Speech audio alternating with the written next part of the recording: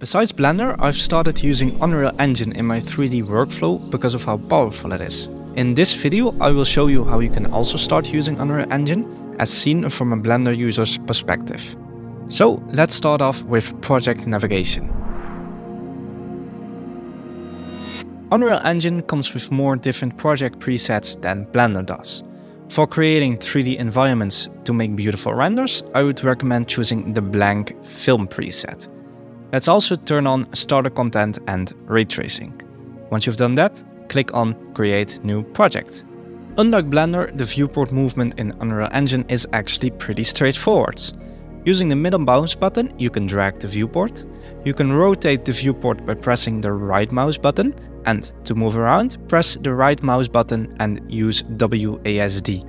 You can also press Q or E to move up and down. So basically it's just video game controls. You can also change the speed with which you move by changing this slider, or you can press the right mouse button and scrolling on your scroll wheel. To change the shading of your viewport and prevent undesirable GPU usage, change lit to unlit, which is basically the same as material preview mode in Blender. You can also change it to wireframe or any other of these options, but most likely you would change it to unlit. To move objects around in your scene, you will use these tools. You can click on them, or you can use the shortcuts Q, W, E and R. You can also disable or change the snapping amount of the different transformations using these buttons.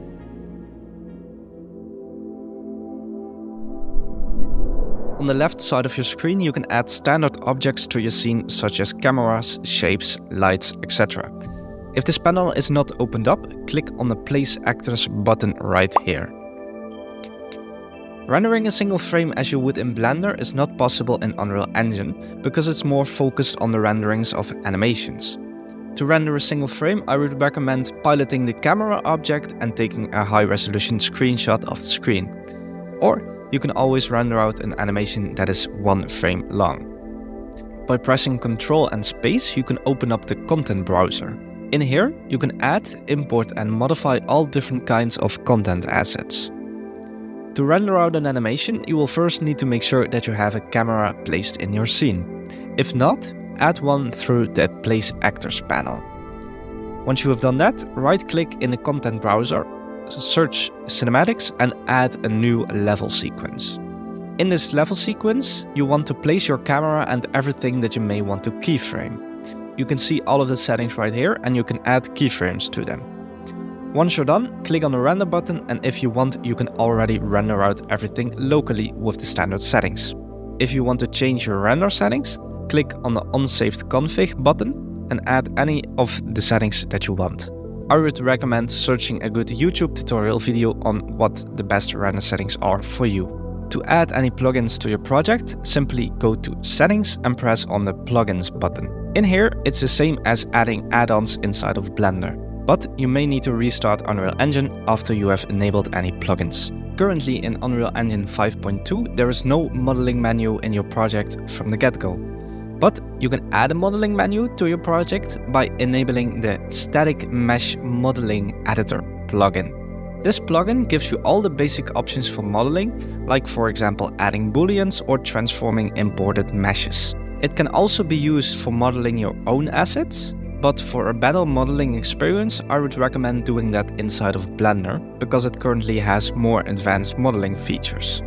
Inside of the modeling menu, you can also add displacement to any surfaces. To do this, first add in a rectangle and give it the material that you want. Then remesh it and give it some triangles. Once you have done that, you can press on the displacement option, set it to texture 2D map and add in a height map right here.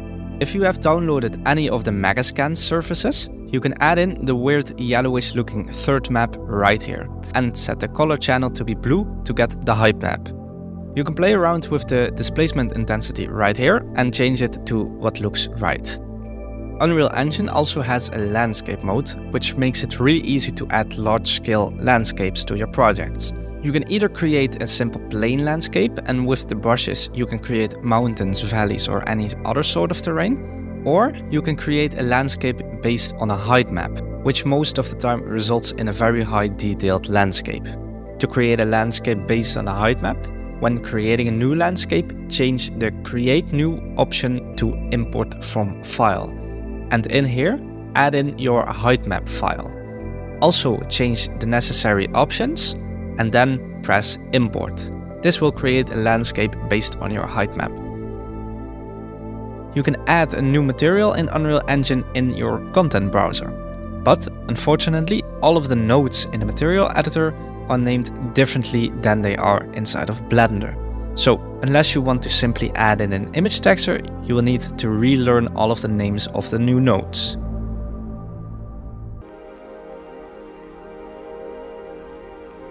There are two features that Unreal Engine has that makes it extremely attractive to a lot of people.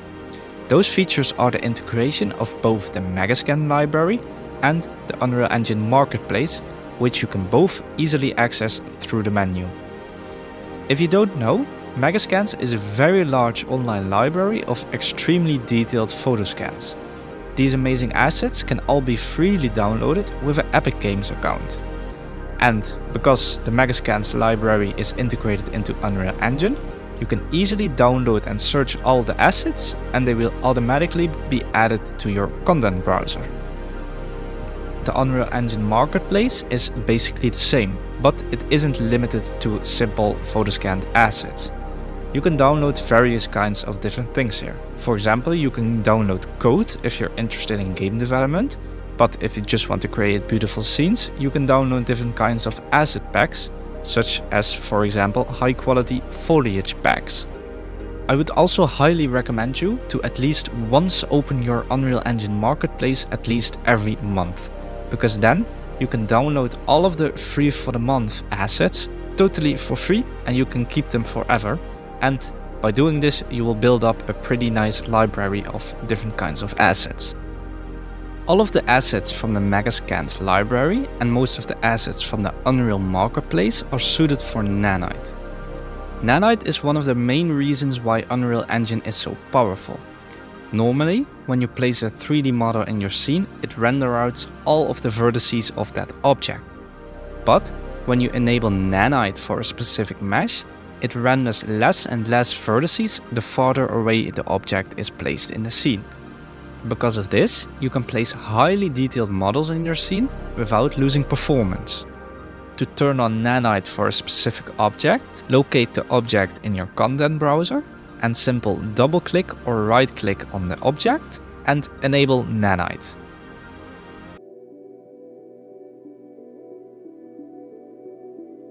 Let's explore one more different mode inside of Unreal Engine, the foliage mode.